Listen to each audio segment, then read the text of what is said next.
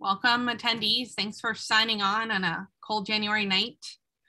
Um, I'm Andrea Nunez, manager of the uh, Office of Human Trafficking Prevention.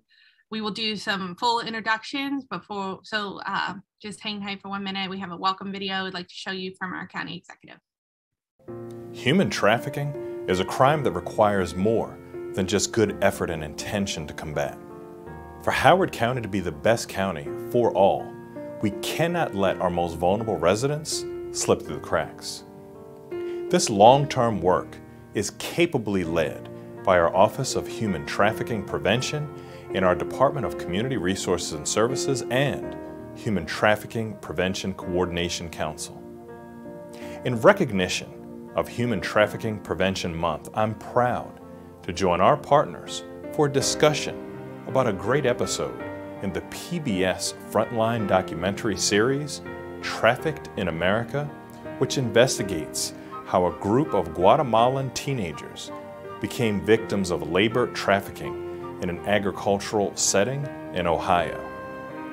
This documentary is vital because it focuses on labor trafficking, which traditionally isn't gotten the media, public, and government attention that sex trafficking usually does in the U.S.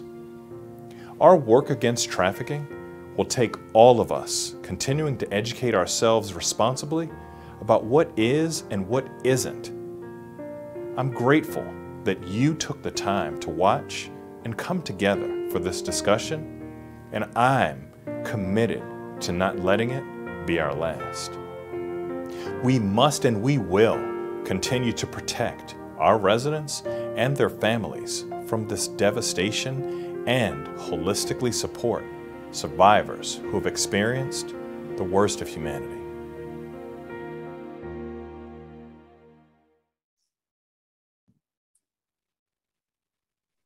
All right. Can you guys hear me again? Good. All right. Thank you, Becky.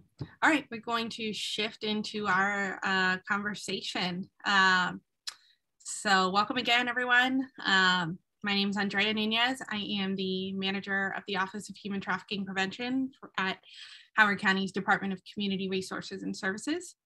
Uh, so I and I and I'm joined tonight by a really awesome local immigration attorney and partner of mine, uh, Alicia Altamirano. I'll let her introduce herself uh, in just a second. Um, just briefly, a little bit more about me, my role, why I, uh, you know, wanted to show you this documentary tonight. Um, it's a great uh, learning tool, I think, uh, easily for, for different uh, levels of, of uh, familiarity with trafficking and certainly labor trafficking. Uh, so my role, um, I'm a, you know, to be clear, I'm a civilian. I'm not in a police uh, role. I'm not in a direct service role to victims of trafficking, kind of in the middle, uh, trying to uh, just put all the pieces together as best we can in Howard County in terms of services, ensure that survivors of trafficking locally are getting everything they should to, to rebuild well and be served in, in every way. Uh, and then we do, I spend a lot of, um, Brianna and I, I have Brianna uh, McNamara with me from my office here. Uh, she and I spend, uh, will always be spending a good chunk of our time on uh, community education, training, outreach initiatives, uh, targeted, sometimes very general, just, you know, different audiences trying to, you know, best we can teach a little better about what sex and labor trafficking are and are not and what resources are available here in Howard County. Uh, so I will stop there and, uh, you know, on timing tonight, uh, we're we're here till 8:30. We'll, we'll see how how it goes. How how many the definite goal is to talk a little bit about this documentary and then also um, have a lot of time for interaction and questions. So we may we may slide uh, beyond uh, eight o'clock into 8:30 if, if if folks would like. Uh, so we'll get going in just a minute, but I have a really awesome um, co-panelist here with me tonight, Alicia Altamirano. I get to work with her on a few county fronts. So um, Alicia, can you um, go ahead and uh, tell everyone a little bit about yourself? Sure. Thank you, Andrea. Hi, everybody. I'm Alicia Altamirano. I'm a local attorney in immigration and family law, but I also, I'm very involved in the community. Um, I work closely with Andrea. Um, and my reasoning for being here tonight, apart from Andrea asking me to, which is, was a great honor, is because human trafficking, I think, is um, a subject in our communities that is taboo or unheard of or uh, the community doesn't believe that it happens in their neighborhood, and human trafficking happens anywhere and everywhere. And there are many misconceptions to human trafficking. So I, I want to do my part in trying to educate and spread awareness and communicate to everybody um, what the different kinds of human trafficking are, what people can do to get involved, and how um, you can help in a human trafficking case. Well, so Alicia forgot to mention that, that I get to work with her on a couple official county bodies. One of the roles of my uh, office is we uh, support uh, this county's task force against human trafficking. It's called the Howard County Human Trafficking Prevention Coordination Council. Dr. Ball mentioned it very briefly. So Alicia is one of our members. She's been a member, active member for a couple years now. Uh, she and I also have the pleasure of serving together on uh, the executives uh, Latino Latina work group. Uh, it's called La Alianza Latina, and I think I see one other, at least one other member here in the uh, uh, attendee list. Um, but that's been a you know a different group. So generally, I seek Alicia's counsel on a lot of matters, and I think she's a great asset to to all these all these pieces of the county's work. Um, so Alicia, tell us, um, you know, you and I share a legal background, but you've been practice. Tell us very briefly about the type of practice you do, you have right now. So I have immigration uh, slash uh, family uh, practice in Howard County, but I'm throughout the state of Maryland. I'm in a few different jurisdictions. And I've managed to carve out a little niche where I specialize in special immigrant juvenile status cases. And basically, what that is, is assisting anyone under the age of 21 who is not married or and never has been married, who has been abandoned, abused, neglected by one or both parents. And due to that abuse, abandonment, or neglect, they are un, uh, they're un, unable to reunite with such parent and it's not in their best interest to return to their country of nationality. So basically, it's a great uh, relief, immigration relief for these uh, children or minors that come into this country and fit all of those um, elements. And it involves requesting from the circuit court custody orders as well as a special findings order. So it's a very long process. Uh, when I first started doing these cases, I could do a case in two years from, from my first consultation to their residency card in hand. And now it's taking anywhere from three to five to six years, but it's still available. And I do other immigration uh, processes too um, through USCIS and through the court. And the reason I do that is because I, am also an immigrant, a daughter of immigrants. And so I wanted to focus on this, on the immigrant population and um, be of service to them. Awesome, thank you. Uh, okay, well, let's get going here and we'll uh, have lots of opportunity for conversation and questions, either for me or Alicia as we go.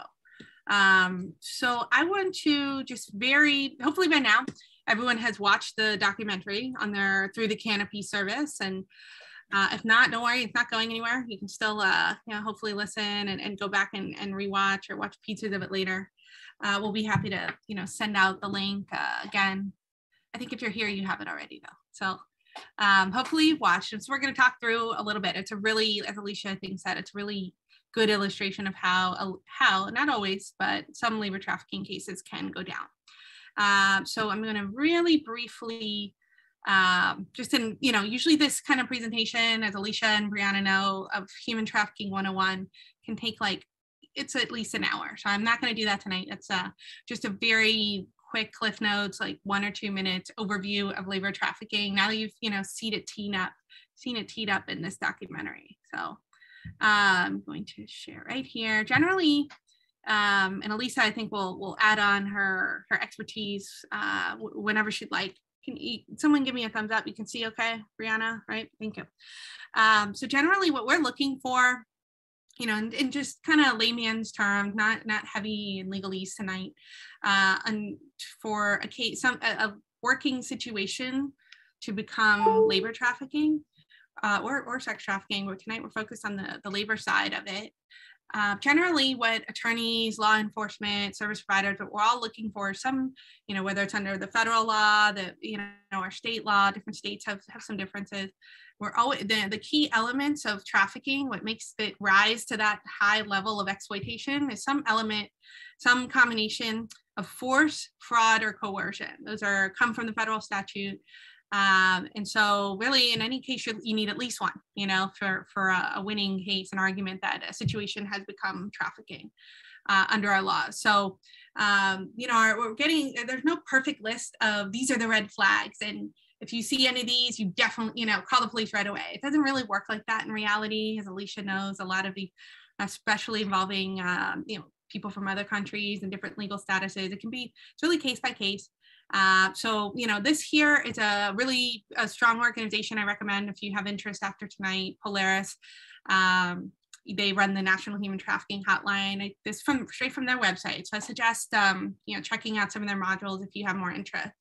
But these are some of the red flags, some of the ways that force, fraud, or coercion, those those elements can can can show up. That's how these are the kind of things that have been deemed by courts, by law, you know, uh, in terms of our visa requirements. These are the kind of things that legally um, can amount to, you know, force, fraud, or coercion. A lot of time, and like, like our documentary shows tonight, we don't really seem. It's easy to focus on cases where there's violence and force and, you know, restraint of a person in trafficking situations. But a lot of times we, we don't have we don't always have that. It can be fraud and coercion other non-physical non-violent uh, circumstances in that person's story or the group of people's story that amount to that can still add up to trafficking. So things like you know i won't read all these feeling pressured to be in a job but you may want to leave.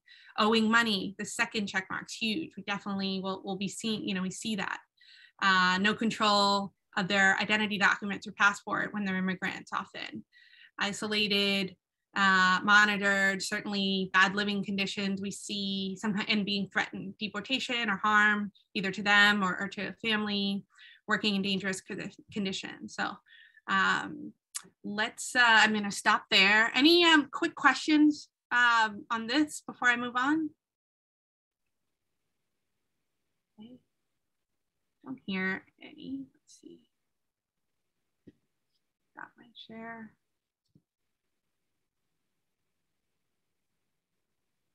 Okay. All right. So with that frame in mind, it's uh, you know, I'd love to just try to take the example we uh, these that we saw in this documentary and try to talk it through a little bit. Um, where you think the force, fraud, or coercion were in this story of these, uh, you know, immigrant teenagers, you know, who ended up in Ohio on this chicken egg farm. Uh, so I will, again, we, we have the benefit of, of just the 20 or so participants here. So I, for those of you who are looking to part, maybe unmute and participate, you're welcome to, or you can do so via the chat if you're more comfortable that way.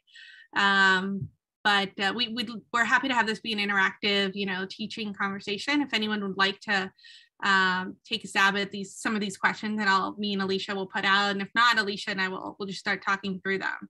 So my first question for everyone is um, again, what do we see in this case, this story that you think were the forced fraud or coercion that made this whole this whole documentary, this whole story rise to that higher level of labor trafficking? Does anyone have any um, guesses of what uh, what were those key factors in this case?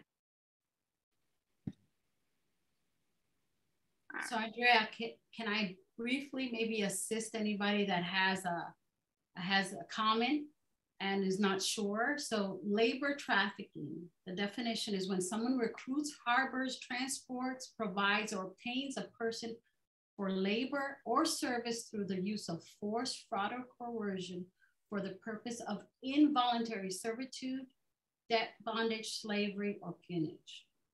So maybe that'll help you with your comments.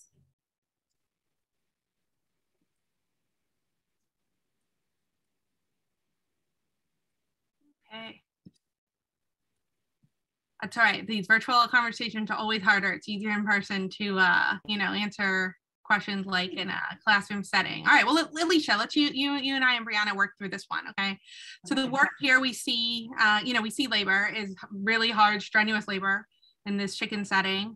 We hear about 11 to 16 hours a day concerning his, uh, we see a lot, you know, and you really compelling is the uh, footage of that, the, the, the living situation, right, Alicia? inhumane living conditions, right? Right. Um, I thought it was pretty, yeah. Yeah, it was a really interesting to hear from that woman who bought the trailer later, talking, you know, just pretty candidly, you know, talking about her impressions of, you know, whoever was living there before her. Um, I thought so. Okay, so we're looking for force, fraud, or coercion. What elements, Alicia, did you see uh, that that sounded, you know, like they rise to the, you know, the levels that we care about, either force, fraud, or coercion in this story. You want to want to start with fraud? Was there anything, yeah, in the story? So, um, one of uh, examples of fraud are false promises.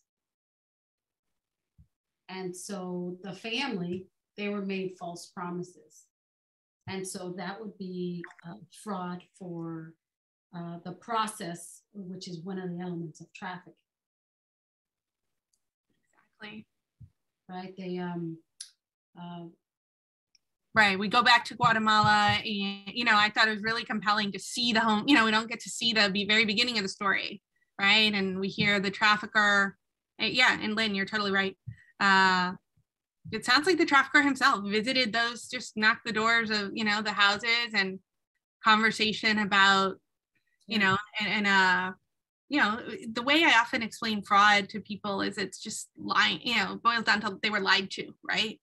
You're saying, you know they thought they he mentioned we hear in the documentary that they uh, were told about like school you know 15 you know for $15000 you get to come great you know the job but you'll opportunity to go to school and then it, in you know through yeah exactly lynn. Promise of uh, and I and Alicia how common you know you do a lot of work with immigrants who uh, you know coming to to a job to work is a bit often a common thread and and just many immigrants' story right? Is this how common would you say that not always trafficking but you know how common would you say that backdrop is? Unfortunately it's um, one of the main reasons for why the immigrant comes to the United States is because they live in such poverty. There is no opportunity to get out of the po- poverty. And they've heard all these great stories of living in the United States, in America. So they want to come here to not only help themselves, but also help their family members, um, especially juveniles. They want to help their parents they've been living in such poverty where sometimes they don't have food to eat.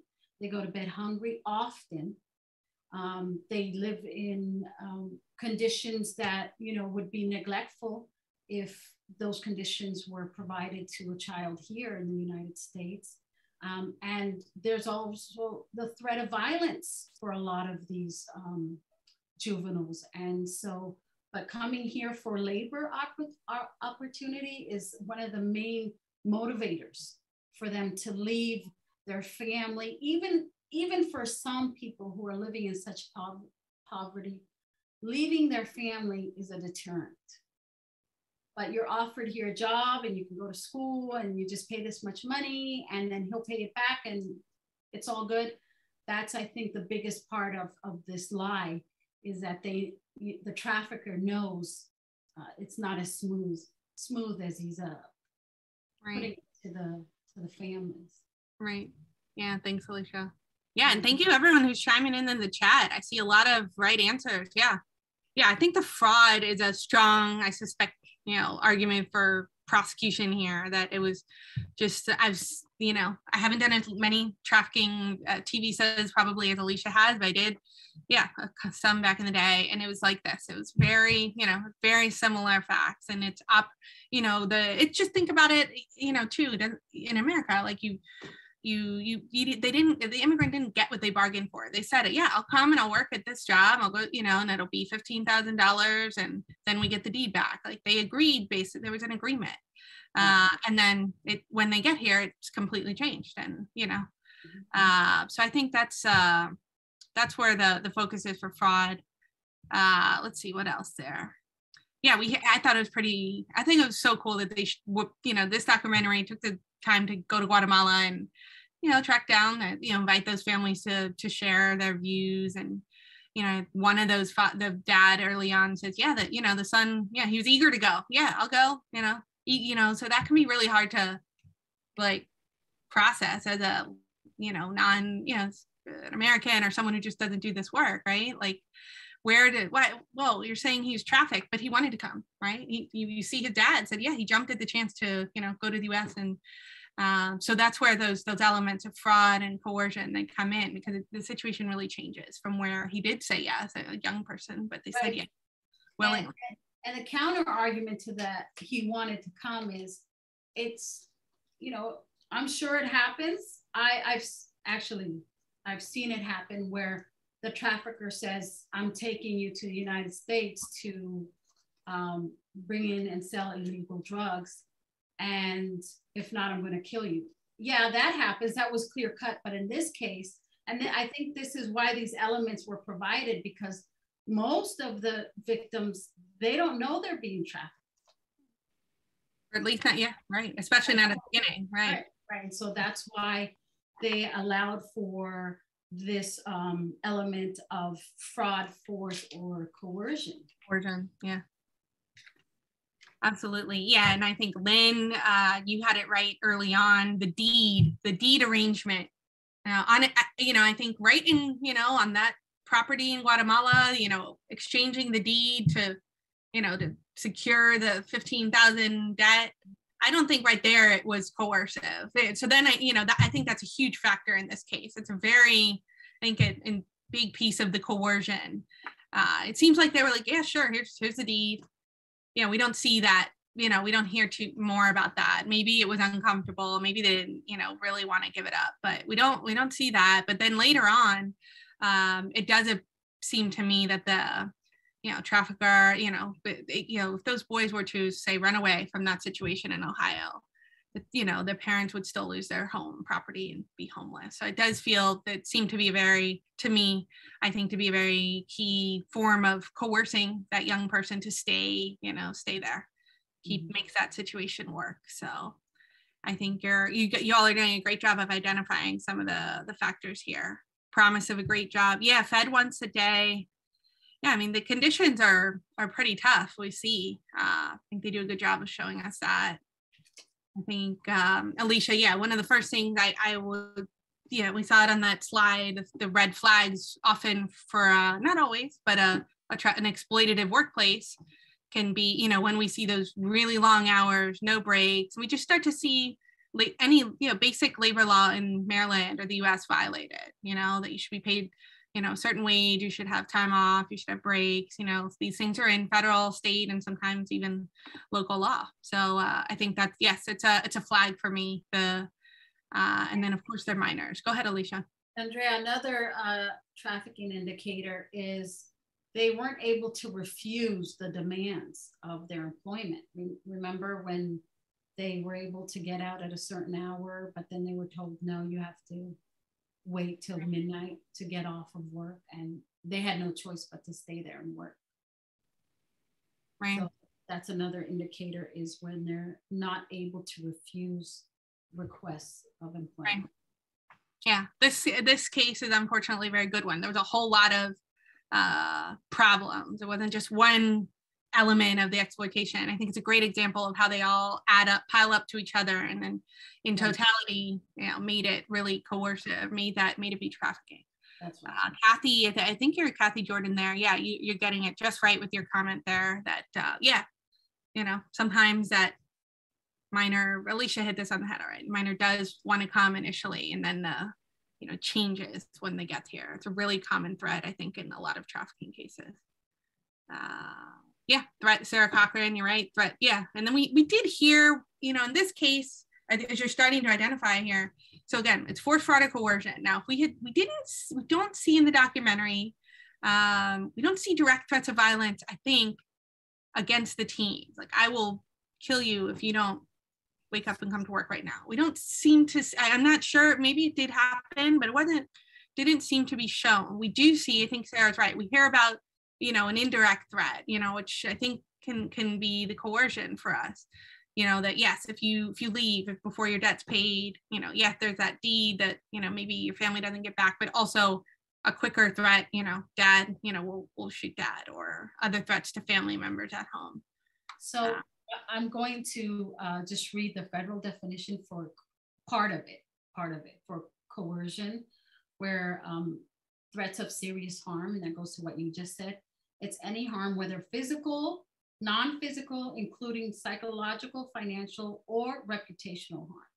Right. And so, you know, in immigration, um, we have to be very creative. And it can be argued definitely that this is um, psychological also harm uh, because it's um, look what it's you know we're going to shoot your dad you know yeah. i think somebody said right. two times who said that that that's what they remembered that was yeah to the absolutely that's right mm-hmm. yeah I mean, at the end of the day, a trafficking victim, certainly these young men, it sounds like all need a ton of their, psychological harm too from all of it. And they need a whole bunch of uh, clinical, uh, you know, therapy, counseling for a long time because of things, the threats like that. Maybe no one was hurt physically, but there's a lot of psychological harm. Absolutely. Um, okay. All right. Well, so again, that's really, you know, that those are the kind of things you have to think about whenever, you know, you're presented with a, uh, you know, any kind of fact pattern, you know, the, the exercise I tried to take us through a little bit. Um, you know, just just kind of in layman's terms a bit, force, fraud, or coercion. Those are the things that make a case of a bad workplace or a bad, you know, any other type of situation rise to that highest level of exploitation where it becomes maybe federal trafficking or, you know, an immigration relief or T visa. Is the, visa, the name trafficking it's kind of where it come from. TVs, that's a name of the visa that the, a lot of trafficking victims, once they're in the US, uh, are eligible for. It depends a little bit on the facts. Like Alicia could take us through that a little later if anyone's interested in the, the differences. There's T visas, U visas, and then she's specialist in the, you know, a, a youth, uh, special category for youth. Uh, all right, so anyone, uh, you know, I think one thing to I'd love to focus on is just how um, isolated this, these trafficking victims were. And that's often a threat. If you know, we see them in what appears to be a rural town, these trailers. Um, that's that's usually by design, I think. And they were on, appears like the company owns the trailers, you know, the employer arranged for everything, the trip and you know, and then the this is where you live and then this is where you work all the time. Uh, I, I didn't catch in there. I don't, we don't know for sure, but it doesn't appear that these boys were going to school. Uh, and in some situations, we do see that trafficking victims working uh, after school, really, really long hours. We hear from that teacher in another town later uh, about those, those, types of situations. But it appears the boys in, uh, in Ohio on that egg farm were not. It's not clear that they they were in school. I, I think they were not, based on the hours that they were working. Um, but did anyone catch what? So they were isolated, very hard to reach, right? And families very, very far away. Um, did anyone catch what it was that actually, you know, kind of broke through and got them out of their situation? What was uh, the straw that, you know, broke through as we see it in the documentary? Anyone? And I realize I think maybe you guys can't talk. So just, yeah, chat away, please. Go, that's fine. Um, I apologize. I, I missed that. Yep, there you go. Lynn, Sarah, good job. Right.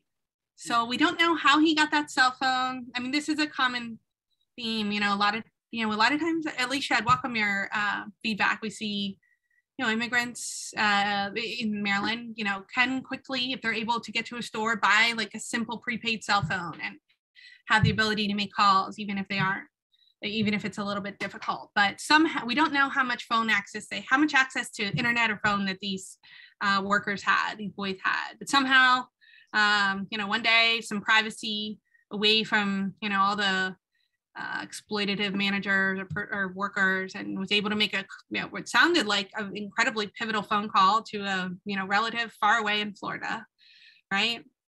Um, I think it's um, you know in the trafficking case. Alicia and I, I'd welcome your comment on this. I've the making a phone call. I think is is a pretty common fact pattern for a, you know victims of trafficking have a lot of different scenarios, but that is in my experience and uh, is, can be very often what what gets through. It's just a phone and the ability to make a phone call and you know the phone right phone number for someone. What do you what do you say to that, Alicia? Yeah, I mean, I've I've encountered this also with people who've been um, held for ransom on their way here to the United States, and a cartel um, takes them and holds them for ransom. It's a phone call. That's the that's the communication. So it's not they don't uh, from what we can see the boys didn't have access to transportation to eh, you know from the living cars. i don't think they had cars right? other people because um supposedly they were there working by themselves and maybe the trafficker was the only one supervising them. So that phone call is pivotal. And that you know that that young man was brave enough to mm-hmm. call his um, was it his uncle and say you know we need, i need help. You have to get me out of this situation. Yeah. and, and to know that this isn't right. Because another part of trafficking right is is they don't know. They were brought here from by the traffickers and put in this position. And they don't know what's available to them. What they know is that they're undocumented here that they owe money their family owes money they're being threatened. Uh, they were lied to. So they don't know if anyone's going to help them, believe them. And so it was good that he was able to make contact with a family member and get that, that assistance, uh, uh, sound the alarm with the uh, sheriff there in Florida. Right. And, you know, it was, she, um, I'm assuming she has some human trafficking training because she, she didn't hesitate Right. She moved immediately to get um, the help that that young man needed to get law enforcement there. Right. I found that uh, like a pretty satisfying, like happy part of the story. Like it's all, that's what you want every time, you know, hopefully it's just not, unfortunately not always the case that law enforcement can, can jump on every tip, you know, right away from uncle who called it in or, yeah. you know, but uh, in this case, the best case sounds like it appears from what we see that it was a very rapid response and involving the feds. We were definitely over state line it looks like. So i think uh, that part was cool. That would be you know the way it could you know if a phone calls me to a to a trusted adult or you know we have hotlines national there's a national human trafficking hotline. There's a lot of howard county our service provider has their own hotline to turn around. You know there's a lot It's usually a good phone number. So whichever call happened. It's wonderful that it was uh, followed up on so quickly. Mm-hmm. um, that's right. Yeah and it is cool that that uncle uh you yeah, know you know uh, didn't get wasn't scared to call call law enforcement. I mean it's a real we, we don't know the uncle's background maybe the uncle is american born or documented or not but you know certainly in the immigrant community there's fear of, of involved distrust of law enforcement um, so i think it's yeah i think it's great that he he just picked it up right away and that they respond appeared to respond really you know, in a good way right away. Uh, let's see, some great comments. Keep them coming, guys. Um, um, Mr. Um, Mr. and Ms. Monteith, I will, I will get to that. It's a great question. Trafficking is a big issue everywhere in the U.S. It's definitely an issue in Howard County. We have the stats definitely to back it up. So it's uh, we chose this documentary night because it's a good illustration of, of you know, it's kind of like a case study. Um, Sarah said that they might not know that their treatment is illegal here in the U.S that's a big part of why these traffickers are able to traffic so many people is you they don't you know they don't know what's illegal. They don't know what kind of help they can get absolutely great questions guys keep and, and gals keep them coming jorge yeah um, uh, in short yes teachers get some training on human trafficking that's one of the many things that like i think about and our alicia and i are Howard County Human Trafficking Prevention Coordination Council work on. We have a member, a senior member of the school system represented there. Um, and we talk about this kind of thing. And the, yes, our, our goal is to regularly train all the people that are close to trafficking in Howard County. Uh, police trains uh, themselves really well. Uh, we know that they're, they're one of the uh, really great police force here in Howard County. Uh, we have my office, Brianna and I spent some good time implementing more training for fire and rescue who had never received that training before. One of the first jurisdictions in the state to do that.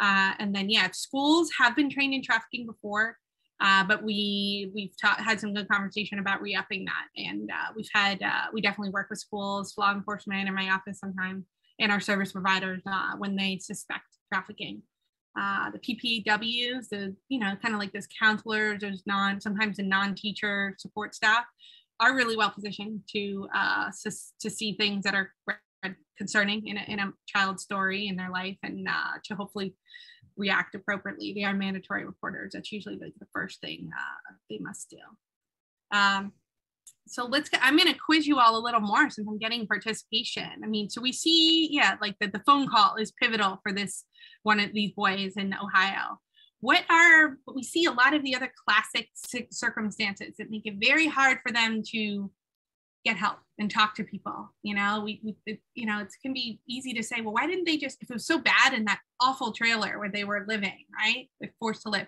why didn't they just run away right why didn't they just run and you know, look for the first, you know, so it looks like they don't speak English. I think it's a pretty good guess at, at that point, you know, so just try to find someone friendly or run to police to man and, and just, just escape, right?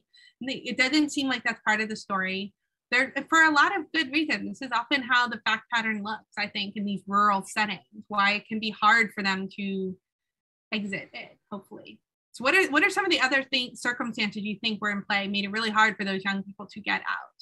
language barrier correct right and alicia looks to me you know they speak spanish in their interviews or you know but do you think they spoke english in their time on the uh, farm or right i doubt it I, they were working with each other the traffickers were you know spanish speaking i doubt they had any opportunity to pick up even minimal uh, right.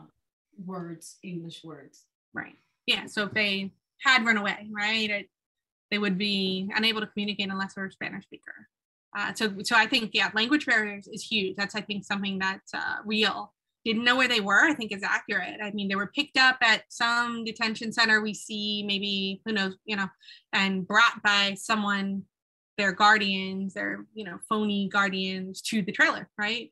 Uh, so, yeah, I think it's, it's, they probably, yeah, we don't, it's probably very likely they didn't know exactly where they were uh, employers were they're landlords. Absolutely, we see that. So there's also so yeah, that, that's easily uh, a factor for them.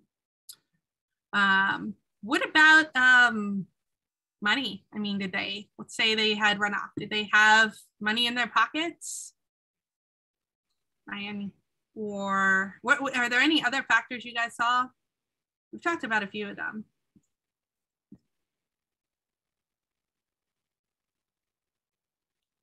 Yeah, Kathy, great uh, point about the sheriff, right? We see, yep, and Lynn, no energy after a long day, right? Yeah, and who knows where the closest place, closest store or gas station, or right, Alicia, to to that farm. It appears from the shots we see that it's quite, it could be incredibly rural, very long way, right? Right. Um, yeah, I think uh, I think I had the same reaction to where we see that interaction with the reporter and the ex egg guy and and she would have yeah the sheriffs that it does from what we hear on that mic that uh yeah he appears to maybe be friendly with the business owners and uh yeah maybe not worthy of the their trust absolutely i think that's a common thread uh probably no perhaps no spanish speakers in that uh yeah on that sheriff's team that would have uh, just not been a, a good candidate for them to try and talk to, even if they did see them maybe, you know, driving by perhaps one day. Yeah. Yeah, I think these are, go ahead, Alicia. Fear.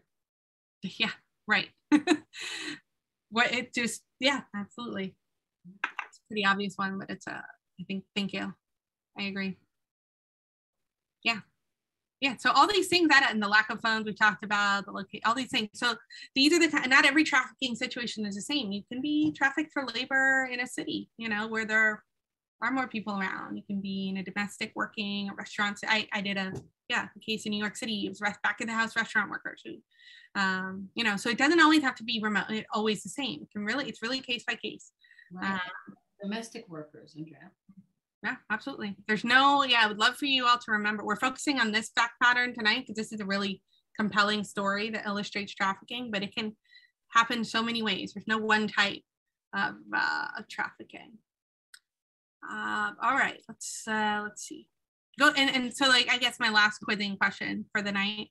Tell so you know once they made that call, we, we see what happens next. We we get to see the you know the the defendant, the, the what appears to be the you know the guilty uh, coordinator of it all. Um, but then we hear you know the at the end we start to hear what what happens to those boys, right? When the story ends and their part in the process, you know, process criminal case maybe is over they get immigration relief. I think they get some kind of visa. I think Alicia, did you catch which kind they got? I think it was U or T. I'm not sure. They got some kind of status in this country, right? So if these boys were, you know, one of the many, I'll, I'll hand it over to Alicia. One of the many things that these uh, these victims in this case needed were an excellent free immigration lawyer to help, you know, sit down with them, Alicia. So just, you know, very briefly, right? Mm-hmm. If you were connected with them, you know, what, what were the kind of, what would be the first uh, kind of things that you would be discussing with them in the first meeting? What would you, what would the evaluation look like? So the screening would start with the elements of human trafficking uh, for uh, the T visa application. And then it would consist of just making sure that they have the elements that they need, which are, um, it was taught to us um, as process means and end. And you only need one per column. So the process is recruiting, harboring, transportation, obtaining, or providing. Um, and an example of transportation does not have to be from one country to another, from a state to a state. That's a misconception that for um, human trafficking, sometimes it's people you you brought somebody from a, a, different nation or a different state. It can be you transported them from work and back home and back to work. It can be um, the har- uh, the harboring is also um, keeping somebody and does not require movement. Um, and obtaining obtaining is uh, a parent sells a child. Right. Um, and then the means is by force, fraud, or coercion, and we went into that. And you you only need one per column. And then the end is for the purpose of involuntary servitude, debt bondage, or slavery, or sex trafficking. It's just one of those. And then basically, there's a few other elements that you have to make sure you can cover, and you move from there. Yeah. And then um, you would assess the situation. For example, I would assess uh, what what were their living conditions right. before this happened. Who did they live with? Were they with mom and dad? And if not, why not? Had they been abandoned by one of the parents? Because unfortunately, it's very prevalent in these tribe countries that I usually um, work uh, with is uh, Honduras, El Salvador, and Guatemala. So abandonment and neglect and abuse by one or both parents is very prevalent. And so I would just screen these uh, juveniles for any kind of relief that they may qualify for. Right. So find, yeah, find the relief that best fits them. Go with that. All right. So then where Alicia's job end and the job of a service provider you know begins right? There's a lot of other things that would make you know alicia's job easier and, and support these you know victims as they you know begin their healing journey as we we say it i think in our field. Uh, what are some of the other things that they, those kids needed? Anyone want to put some thoughts in the chat? I mean, so they, you know, hopefully, you know, quickly get hooked up with a great free or, you know, uh, free, excellent immigration lawyer, someone sit down and, you know, because I am, you know, out of status, I'm dazed, I'm, a, you know, just out of a really traumatizing situation. Uh, but one of the problems I need help with is, uh, you know, how am I going to stay in this country?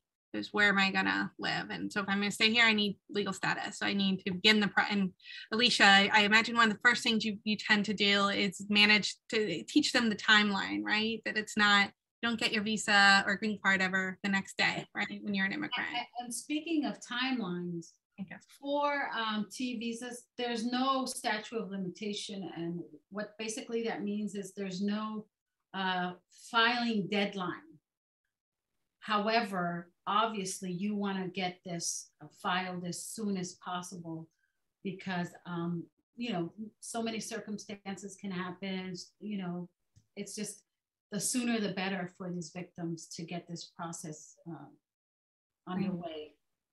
But yeah, but there's no statute of limitations in case anybody comes across somebody that may have experienced this a while ago. Right. Yeah, if they meet the other elements, they qualify still. Right. Yeah, well, in, in short, victims of trafficking need a ton of things besides a great, if they're an immigrant, besides a great lawyer, they need you know, very basic things that an, another homeless person needs. They need a really great, safe place to stay, and an, you know, immediately. And then they need longer term options. They need money. They need emer- it's every service provider in the trafficking field. Um, go uh, do you would uh, need that I would have that and it'd be part of what they give out uh, so basic things clothes everything you know they lived in a really you know they, they have probably very little with them uh, they need access to, in addition, Alicia, you teed up the psychological harm. They need therapy. They need, uh, they also need just doctor. I mean, they probably have injuries that went untreated while they were working there. Need doctors. A lot of, um, you know, probably didn't go to the doctor or dentist once, right? Right? None of the you know usual care for a young person appeared to happen in the story. So they have a lot of backdated medical, dental, you know, and psychological needs that need need uh, uh, so good um, service provider like Turnaround is who we work with, or anywhere in the country. There's a lot of good service providers out there. They're going to try to wrap around and really serve the whole person. So the lawyer is a huge uh, piece of it, but they can't do it all, right? And they uh, so we so we need the other pieces of the puzzle to be uh, fully resourced and ready to go to serve. Uh, longer term, yeah, probably help going to college if, the, if those it sounds like those young people are still in the us they need education and jobs all the things that any other young person needs uh, so I think I will I will stop the quizzing there and let's uh, let's just open it up, Alicia, if it's okay, to some of these questions we see in the chat and any others uh, about this story. You know, what we haven't talked about it. Try to teach you a little bit of what we saw amounts to the trafficking. Uh, but this story is really compelling. There's a lot of uh, crazy stuff. Certainly, that trafficker we see is really uh, hard to you watch, but interesting to listen to you know, how he seems to dodge responsibility. Um, so feel free to put any, you know, raise any other questions or comments you all have. I'm gonna, uh, we have a great one I'm gonna go back to from uh, Mr. and Miss Monteith. I apologize if that's your first name, but it looks like a last name to me. Uh, your, your question is, how can you tell if the producers or the products you buy, like Trillium Farms, use workers who are victims of trafficking? It's a really good one. Um, so that is something that is a question like Brianna and I uh, think about. So in short, uh, check back my webs our office's website. Brianna can drop it in the chat if she hasn't already.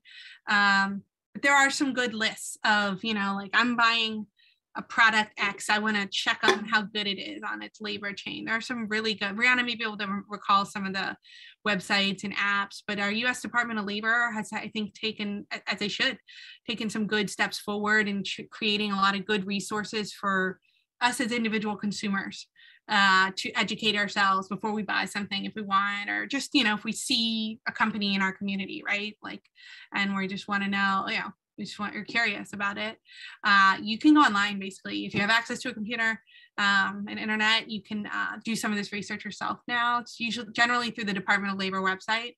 Um, and so Brianna will to follow up with us. And uh, also, you know, I think we, if we don't already have a link to it on my website, it'll be there pretty soon. That's definitely something, you know, it's kind of like a micro action, you know, we all can take if we're not lawyers or uh, advocates. We can all be as informed a consumer as we can, and we can choose not to give our business to uh, businesses that don't have good labor practices, right?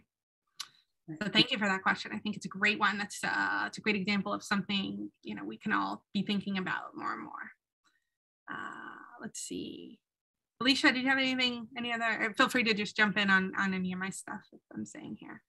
Let's see, Sarah Cochran. Sarah, I'd like to shout her out. She's one of the like founding members of the Howard County Human Trafficking Prevention Coordination Council. She runs a gas, has been involved with Cocoa Gas, uh, as a few uh, other folks here ha- um, tonight have been. So thank you for uh, your participation as always, Sarah. Let's see. Until yeah, the the until each company is held responsible for the means of hiring and treatment of its workers, the company will be able to say, "I didn't know about that." Right? That last the very end if you remember we find it seems like the company finally decides to go on camera after the lawyers probably wouldn't let them for a long time right?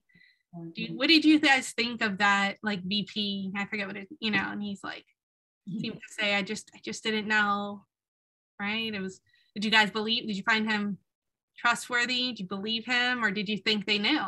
You know he said i was just he said like I was just looking at the quality of the work. I didn't care about the worker. I just wanted to see that the you know the that's how he put it. What do you think, Alicia? So in my opinion, even if he didn't know, he should have known.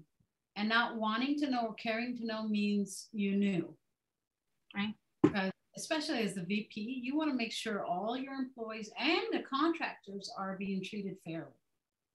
So by you not knowing that that's just I think I that I don't even know how he would go on camera and say that he didn't know. I know. Happening. very curious about the conversation with their lawyers at that point. I mean, I, I, my suspicion, my guess, is perhaps at that point they were satisfied that criminal charges, the sentence, you know, the cases were done, and that they could speak a little and just be a little bit apologetic. Uh, but I, yeah, I found him very interesting. You, thank you, Alicia, for reminding me though. A huge red flag for me in all trafficking cases we see here, it's excessively is the use when we see a company and laborers from Latin America generally, we see it right here in Maryland, definitely, and we see a third party in the middle, a contractor, a labor contractor, a hiring company. This guy was like, you know, Haba, Haba is what it was called, Mr. Dudan and his brother and associate you know so gave trillium the you know or and decoster before them I, you know they, they were very compelling too before it went so corporate and maybe maybe more white collar than at least in appearance. Um, that you know the, the recruiter this this this middle middleman shows up and said i can solve your problem. Can't find people to take your jobs you think right? Or maybe you know we'll see if that holds to be true over time I can help you with that problem. I can fill your labor force with these, you know, just just hire me. I'll take care of it. And then you, you know, so it's that is a common thread a lot of nationally is the use of a recruiter, some in between party.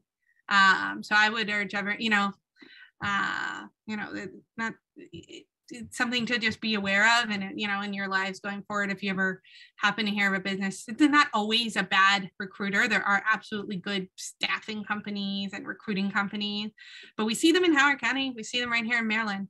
Some of the employers certainly on the eastern shore i think some of those big like we have chicken farms we have crab fishery uh, crabbing uh, bigger agriculture settlings than we do here. Uh, but the use of recruiter is a is a is a cause for concern for me um, let's see. Yeah, the, so Lynn didn't care. Yeah, didn't come across as a company that cares. The factories, trailers, etc. We're not up to par. That's right. Yeah, mm-hmm. I, I, I hear you. So you're not buying it. You think they do. Both Trillium, it seems like DeCoster. What about the first guy before it went to Trillium? We hear him, his old like right hand man say a really like pretty, you know, entrenched thing. I, I, you know, I think in this country, unfortunately, we'll see. Hopefully, it'll go away. But that, you know, his opinion, he says very plainly that Mr. DeCoster, the man who ran the egg farm, you know, thought that the, you know, it was fine that they, that the, you know, it's a better life than they could have in Mexico or whatever, you know, the country of origin, right? And so mm-hmm. and that that seemed to be like, you know, what the, the thought process. What do you what do you say to that, Alicia? Um, I think that was just for the cameras. I don't see anybody believing that those conditions are better than what you have in your country. It's, yeah. it's or, or justifying that bad behavior. We can always find a way to justify our bad behavior. And I think that's the way they justified it. Ooh. Not taking accountability, responsibility, or acknowledge even acknowledging reality. Yeah.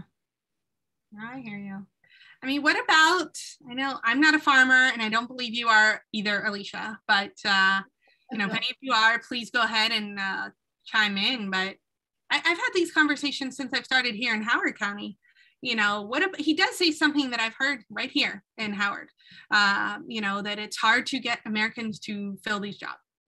Uh, that it, the, the work is, I mean, he said we see on video some really physical work, as he puts it. That um, you know, and we, we do have certain types of visas or H2A, H2B visas that uh, any, you know, seasonal farmers, landscaping, pool companies are allowed, they're designed for them to use to bring foreign workers in. And the one of the criteria, Alicia, like I've looked at it recently, Alicia, is I have, I confirm I cannot find an American worker for this job. I, uh, I, I tried, can't find, you know, so I must, so please allow me to have you know x amount of these visas bring and you know i'll do it right and i'll, I'll follow the rules but i I, sh- I cannot find american. So i mean it's it seems to have a validation in our immigration at least the old relic. Who knows how long it'll be around of our in our immigration system. What do you any feedback on this difficulty of getting americans fill really difficult chicken farm jobs even now in covid? I, I don't know I, I don't know. What if they were paid twenty dollars an hour, twenty five dollars an hour? Mm. Yeah. Okay. So yeah, I hear you. Yeah. So Lynn and uh, Sarah, you guys aren't buying it. You're. uh Yeah, he's a. I think you're. I think Alicia. People are agreeing with you. It's just a, just a something they're saying, right? Yeah. Well, yeah. Lie to themselves, sleep at night. Cage. Good, Sarah. Yeah. Joke of the night.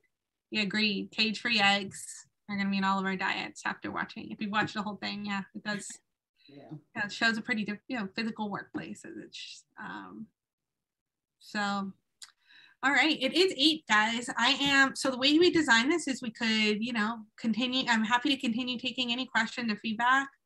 Um, but we and I'm available till 8:30. We can keep chatting if anyone has any other comments. We can also wind it down. I know we're a smaller group here.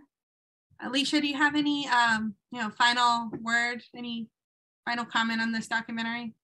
Just that um, a misconception too is that trafficking had to occur to someone who was brought here under, you know, fraud, force, or coercion, and that's just a misconception. Um, it, how you came or why you came can have uh, shifted and become a trafficking situation once you're here. And that would qualify a person as a uh, human trafficking victim for a T visa, um, purposes. So it's just not being brought to this country to, um, you know, serve as a, a slave or, or you know, labor or anything. It's, it could have happened once you're here. So. Right. Yeah, I think that's one of the first things I remember learning in law school on trafficking is you can, while we, we often focus on this international right. case just like this, it's that not required usually under the the, the law, federal or, or local law, perhaps on trafficking. There's no you can be trafficked right in your hometown by someone you know in your childhood bedroom. There's no traveling, even across county, you know, no movement requirement. You can, uh, it's not an element. For T visa, it, that element has to be met that it's on the count of.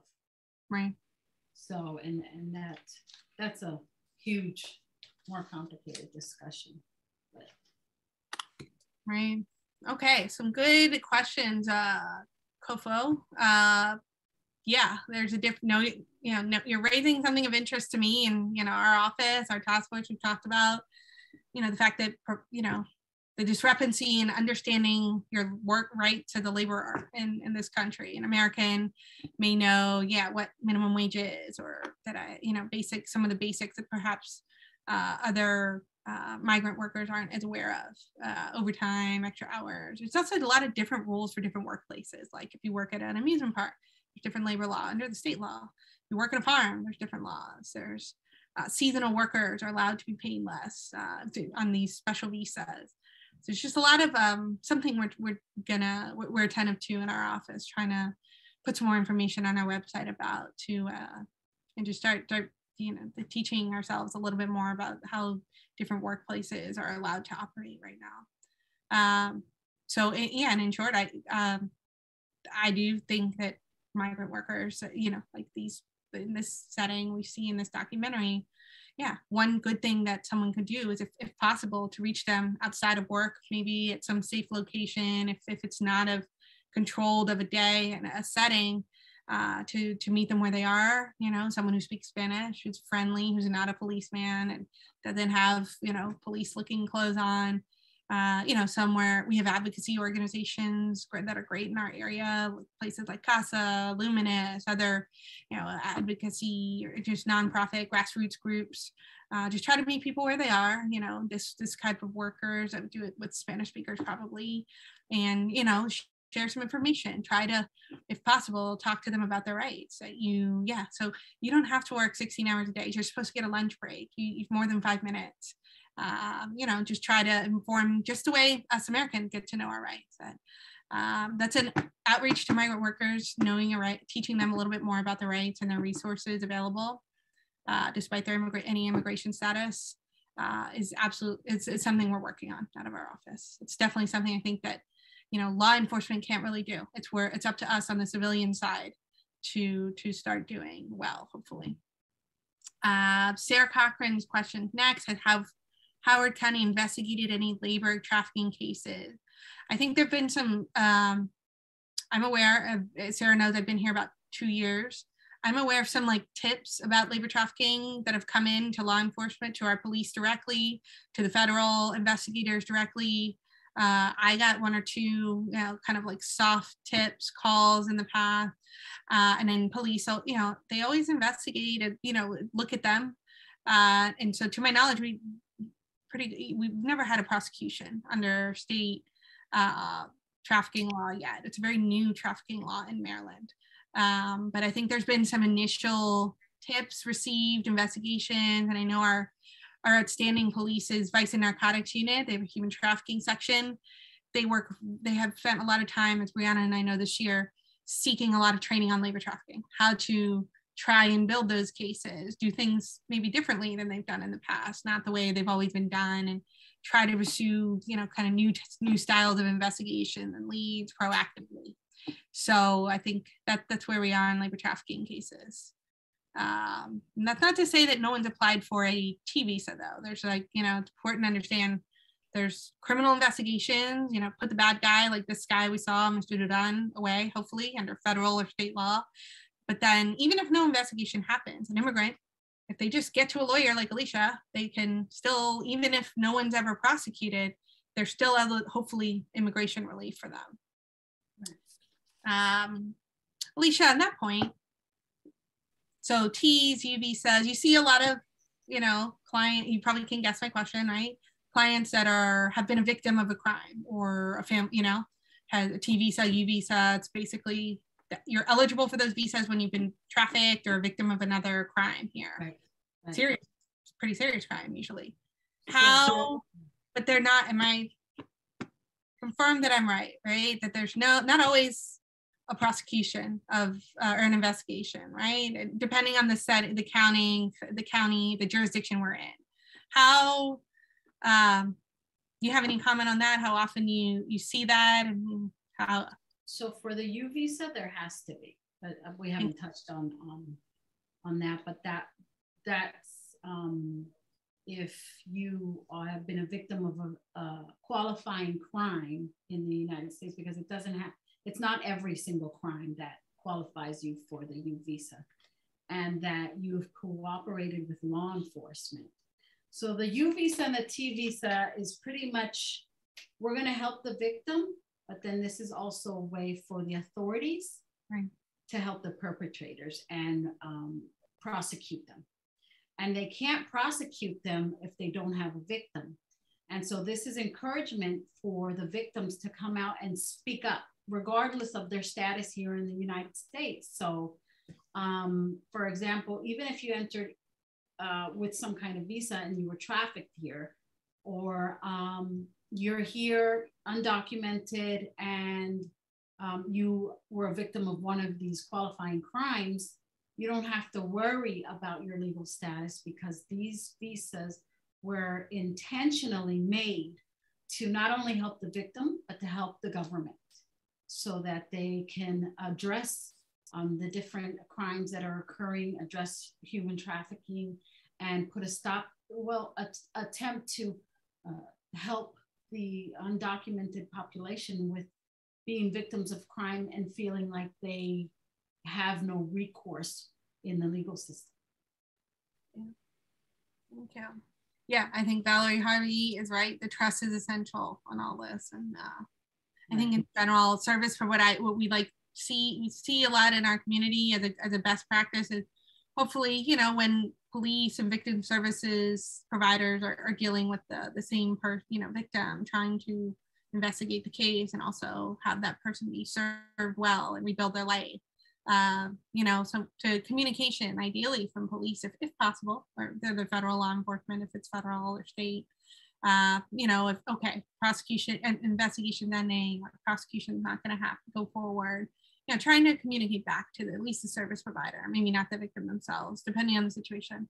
Uh, but sometimes, you know, the follow up between on on the criminal investigation is uh, something I think we like to see. You know, try, builds trust absolutely between you know immigrant communities and law enforcement, as well as you know service providers and law enforcement. That trust is also really important to us. Right. Uh, and we enjoy a really good one where we have a beautiful foundation in, in Howard County of our police, our partners there, as well as our service providers. So we're trying to keep that going for sure. Um, um, Mr. or Ms. Monteith, where can we find volunteer opportunities? Thank you for asking. Uh, so uh, Brianna can reshare it again in the chat. Uh, our office's website. Uh, it, it, you know, keep checking that. In short, um, volunteer. We, we aren't in our office offering a lot of opportunities right now. COVID has, has you know limited a lot of in-person work. We tend to when people want to volunteer at all, kind of in the name of human trafficking, uh, we tend to recommend a, a really good service provider.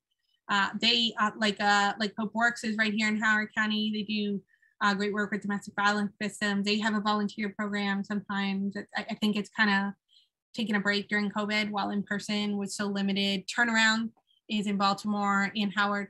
Uh, they have volunteer opportunities. So Brianna, come keep dropping those organizations in the chat for me. Turnaround also, Araminta is based in Baltimore City.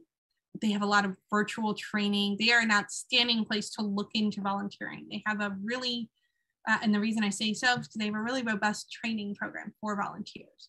Uh, what you may find um, if and when any of you want to volunteer uh, with a service, like a direct service organization, is they're not going to just let you do that. A good one is not going to be like, yeah, go, you know, talk to this victim, you know, over here, drive them to an appointment there's a little bit of vetting and, and a preparation that goes into it uh, for depending on the roles, that the tasks you might be assisting with. Um, certainly more, more soft stuff like donating goods uh, is always useful for, for these organizations. So I'd encourage you to check out Turnaround, Araminta, also Hope Works. Um, certainly there's other, I mean, Alicia, am I missing others that just do good work with immigrants? There's CASA, there's Lumina. Um, Luminus is local. Right, yeah.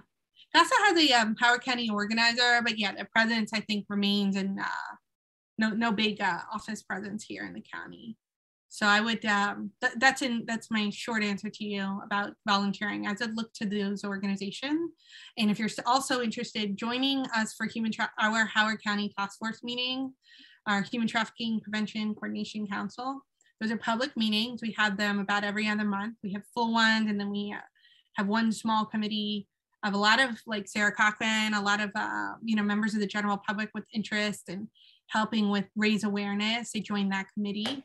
That com- all those meetings are available on our website. Brianna uh, is huge in helping run them and schedule them and right. So we post them. The, the WebEx links for the virtual meetings are all there. So I would uh, I would start maybe if you'd like join us for meeting. You could check out the minutes of our on our website, see the kind of things we spend our time talking about. Um, and then look to those great organizations we have in our area that uh, could use volunteers. All right, did I miss any? Valerie, yeah, thank you, Valerie. Valerie Harvey is an expert, whatever she says, in addition to uh, Alicia. Great. All right, any other questions? We, I'm happy to, to stay on if, but uh, there aren't any more. I, all right. I don't see any more, right, Brianna or uh, Becky? We're good. All right, cool. Well, um, he, Brianna, would you drop our email addresses into the chat, please? For Alicia, is it okay if I, I put your absolutely there? Yeah. Um, Alicia, again, this is Alicia Altamirano, Altamirano uh, immigration attorney extraordinaire and advocate and member of a lot of county bodies doing good work. I think she's she's happy to stay in touch if any of you would like, and I am certainly um, on all things human trafficking and getting involved or just learning more, repeating this if this content is interest really interesting to you, if you'd like. Uh, we can certainly repeat it in other times and uh, tailor. Basically, we can bring a presentation to any group anytime. We can make it really short. We can make it just 15 minutes. We can make it an hour. Um, we can, you know, we can tailor it to a lot, any community group with interest. So uh, do, feel free to, to follow up with me, Brianna, anytime on that front. Uh, cool. Well, thank you. Thank you all for joining. I, I um, I think it blew by. Some important things at the very beginning. Thanks to Becky, uh, to our partners at the library for for hosting, putting this this evening together, and making the documentary available on your can. It's still available, right? It's not going anywhere, Becky. It's on Kanopy for indefinitely. So. Indefinitely, yeah. Go go ahead, log on. You just need a library card. Um, if you don't have a number, let us know. We can get you one. Awesome.